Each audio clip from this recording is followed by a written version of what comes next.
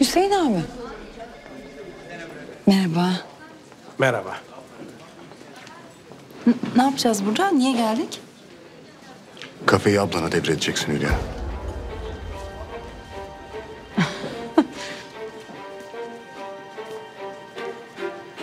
Tabii. Nasıl yani? Niye devrediyormuşum ben kafeyi? Yani nereden çıktı şimdi bu? Kocam aldı bana orayı. Öyle mi? O zaman aç kocana bir sor bakalım. Orayı kim almış? Neden almış? Hangi amaçla almış? Hadi Hülya. Hadi ara. Hadi.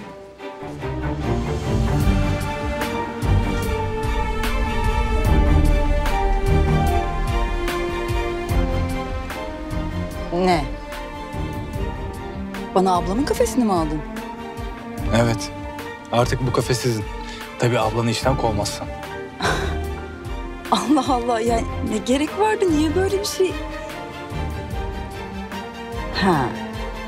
Anladım. Anladın. Hüseyin abi. Adam aşık. Öf kıyamam ya. Ay çok iyi düşünmüş. Sonuçta benim taş kafalı ablam hayatta kabul etmezdi. Kollamak istiyor ablanı. Bu görev de sana düştü. Kafe senin olursa ablan carçurt edemez. Ne gerek var canım böyle şeylere?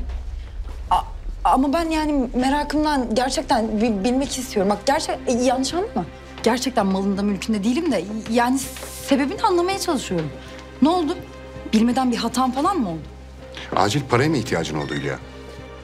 Hı? Kafeyi satılığa çıkartmışsın da. Varsa öyle bir ihtiyacın. Ara Kerim'i versin.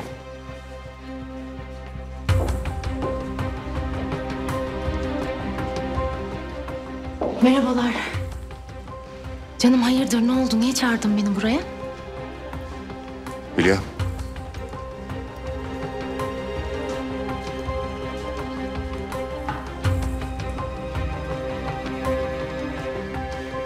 Kafeyi sana devredecekmişim ablacığım.